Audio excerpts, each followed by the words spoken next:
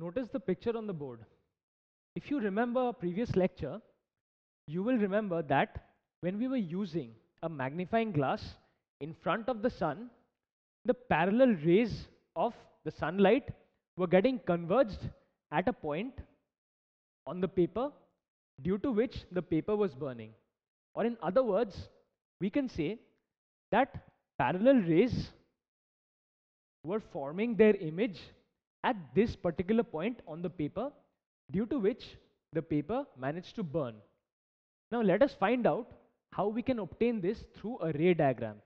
And we shall also find out how we can obtain various other images if the object is brought closer to the convex lens.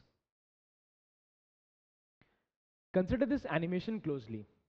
Here, parallel rays of light have been considered because the object is placed at infinity, similar to the case where the magnifying glass was placed in sunlight. Now, when these parallel rays are coming in, after refraction, they are meeting at the focus, that is at f2 which lies on the principal axis.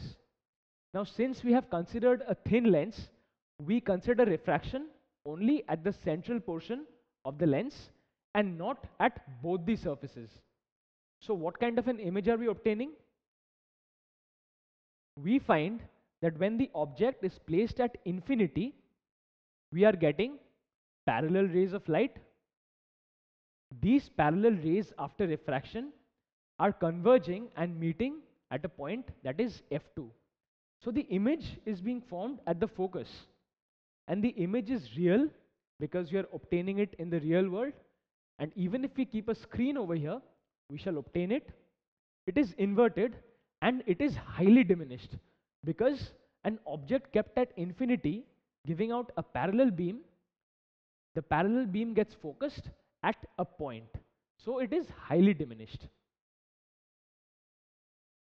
Now we move the object closer to the lens.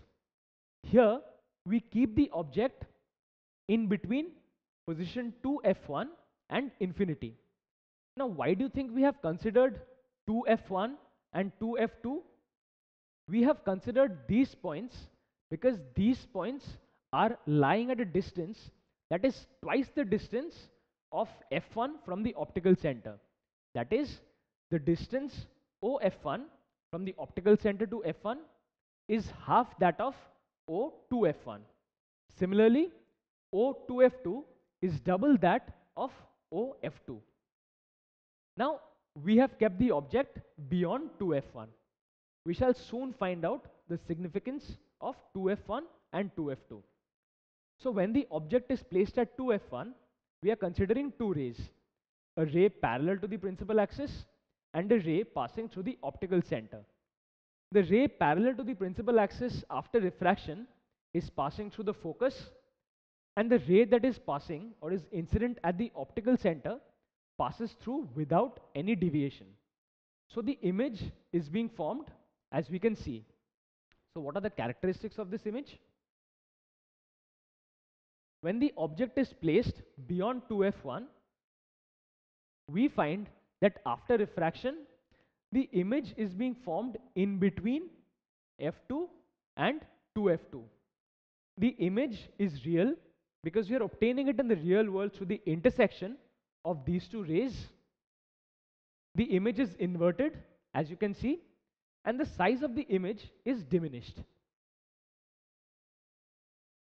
Now this principle is applied in the case of a camera where the object or let's say if your picture is being taken, you are beyond 2f1 of the lens of the camera.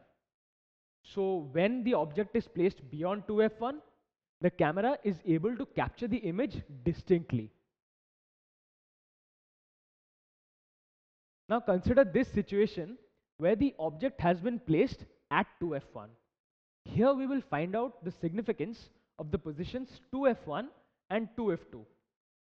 Here we consider two rays coming from the object, one ray parallel to the principal axis and the other ray passing through the optical center. Now you will notice that the ray parallel to the principal axis passes through the focus after refraction and the ray incident at the optical center passes through without any deviation and the image is formed. Now let us find out the characteristics of this image.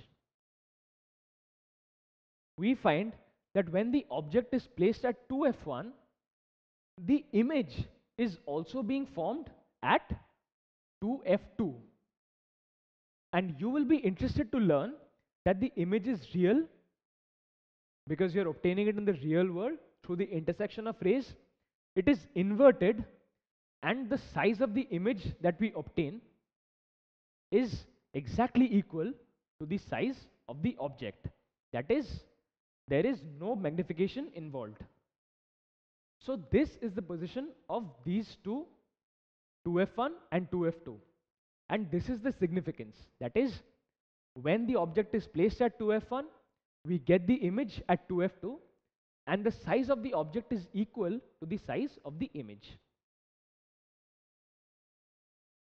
Now we move the object closer to the convex lens. Here we keep the object in between 2f1 and f1 and we consider two rays again. A ray parallel to the principal axis which after refraction passes through the focus f2 and a ray that passes through the optical center without any deviation. So let us find out the characteristics of the image obtained.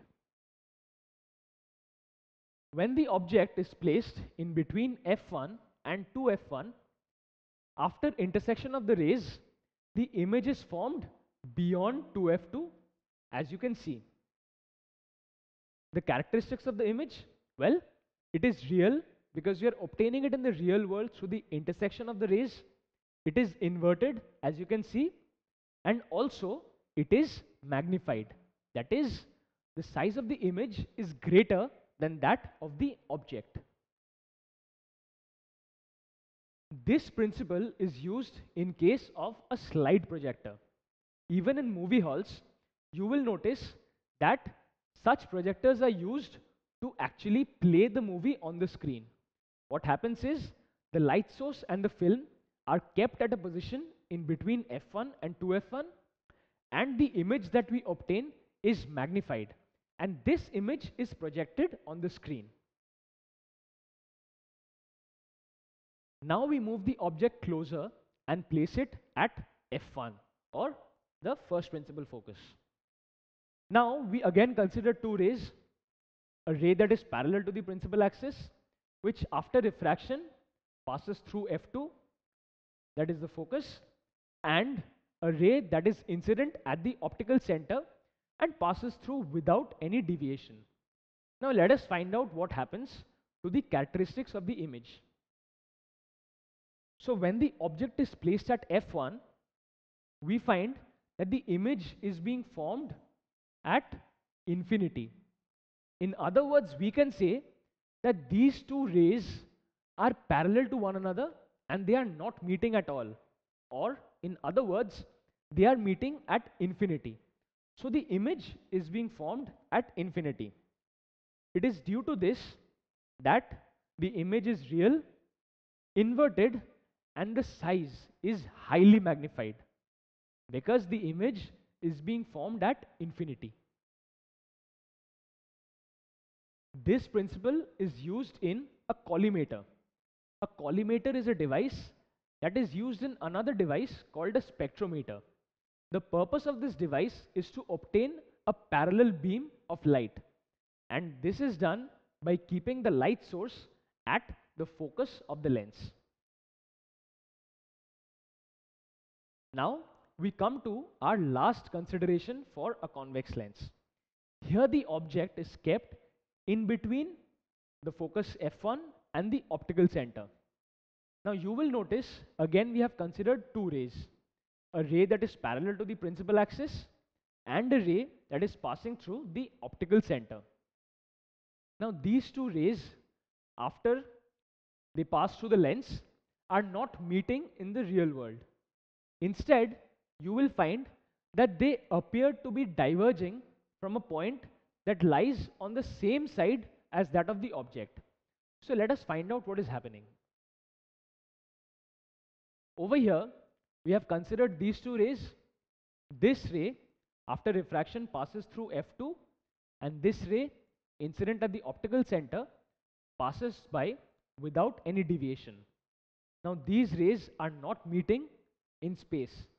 Instead, if we extrapolate these rays, they appear to be coming from or diverging from a point that lies behind the mirror. So we are not actually getting an image in the real world. Instead, we are obtaining a virtual image. So what are the characteristics of this image? When the object is placed in between O and F1, that is the optical center and the focus, the first principal focus, the image is formed in between F1 and 2F1, that is on the same side as that of the object. And the image is virtual because we are not able to obtain the image through the intersection of the rays in the real world. The image is erect and it is highly magnified. Now, can you tell me where this principle is used? You will be interested to learn that this is the principle used in case of a magnifying glass.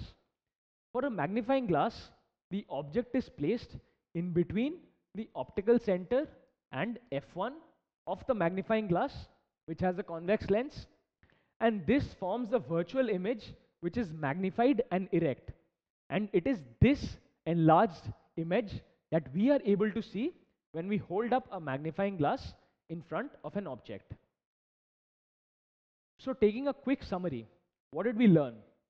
We learned that when the image is being formed at f2, the position of the object is at infinity.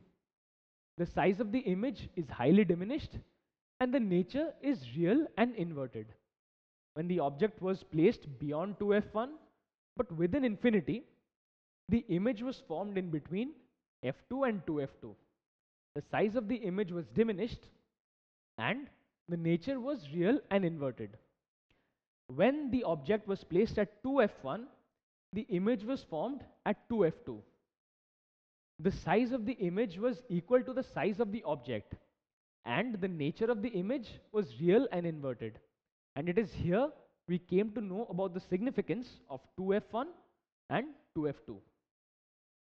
We also learnt that when the object is placed in between 2f1 and f1, the image is formed beyond 2f2.